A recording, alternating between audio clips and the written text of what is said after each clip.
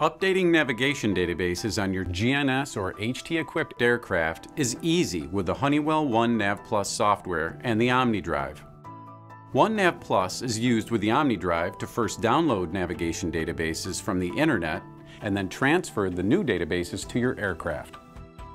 If you haven't performed an update, you'll need to first install OneNav Plus and set up the OmniDrive to work with your computer.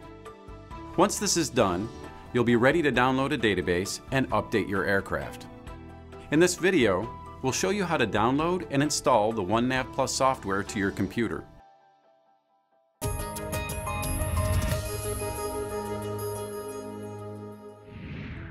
OneNav Plus is a software program designed by Honeywell and is used to download navigation databases from the internet.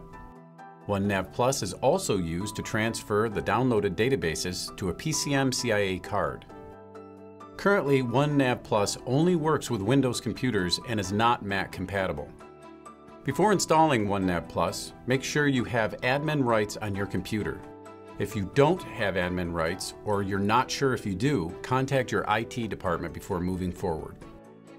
To install OneNav Plus, open your browser and go to ads.honeywell.com. Click on the OneNav Plus button to begin.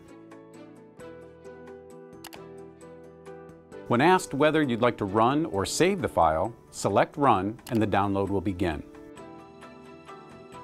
Go through the prompts to install the program.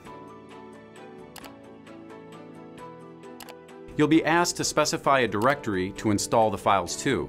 Use the pre-selected location. Click Next to begin the setup. Once the setup process is complete, you should see the OneNav Plus program icon on your desktop. You can also pin the program icon to your start screen by right-clicking and selecting Pin to Start.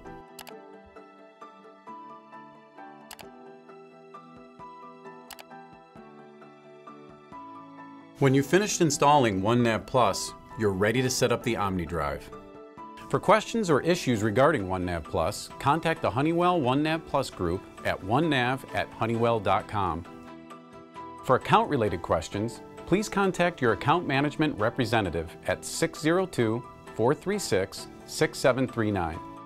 For technical assistance, contact Honeywell Aerospace Technical Support.